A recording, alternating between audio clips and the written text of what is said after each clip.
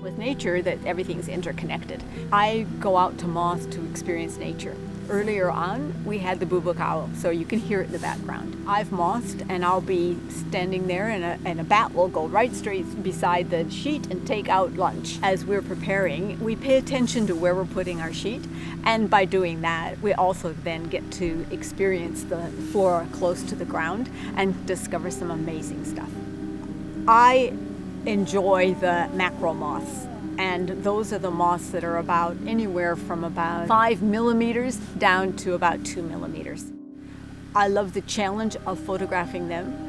They're an unknown quantity basically. Uh, you can imagine in years gone by there hasn't been a camera really good enough. So I come out here and I love photo photographing the big things and the colorful things, the eye spots on the big moths, the, the uh, lines on the bark moths, uh, the tufts on some of them. Each of those qualities interests me, but it's the micro moths that I find particularly good.